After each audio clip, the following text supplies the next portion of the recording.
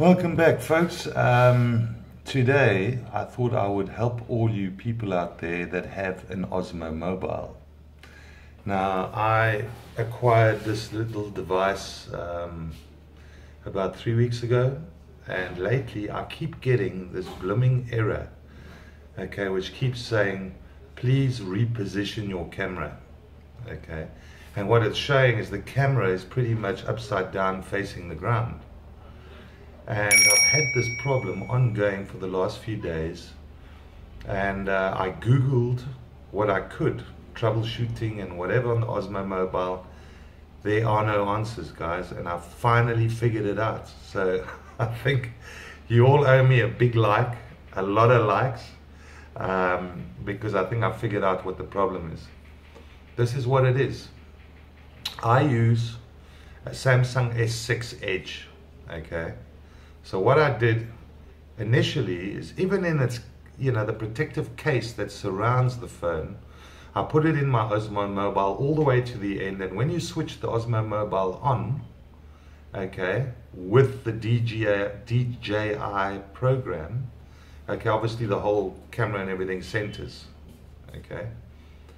And at that point, your camera is level. You think, well, this is this is right. It's not right, guys. You know what the problem is? Your camera is leaning way too much to the right. Okay? And when I say the right, to against the actual cushion socket that the phone can go as far into as possible. What you need to do is take off your protective cover of your phone and pull your phone out. Okay, so before you activate the, the, the Osmo Mobile handset, the grip, don't activate that okay. Put your camera in. Open your DJI app. Okay that's fine. And balance your phone that way without switching on the Osmo. Okay what we find what I've found is that the Osmo Mobile is compensated to keep your phone straight. But the weight is still leaning far too much to the right as I look at the Osmo Mobile here okay, okay, into that socket that holds the phone. My, my Samsung S6 currently is about that far away from the end of the buffer zone if you want, okay?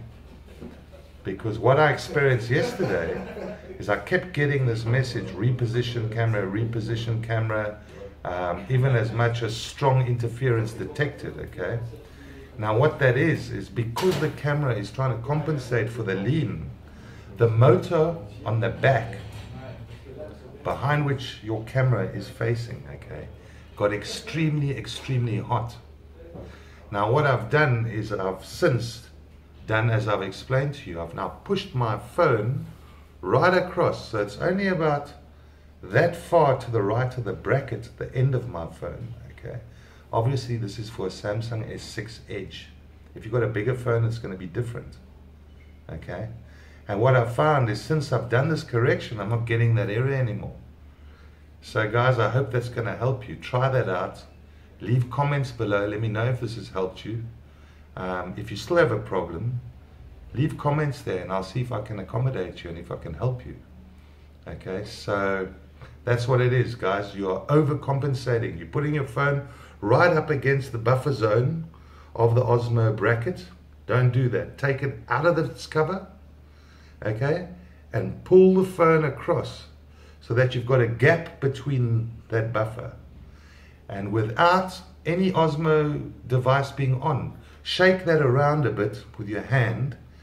Okay, you're not going to get it to balance perfectly, but it needs to be in and about balanced without switching on the Osmo. Now you can switch on the Osmo with your app. Everything will straighten up.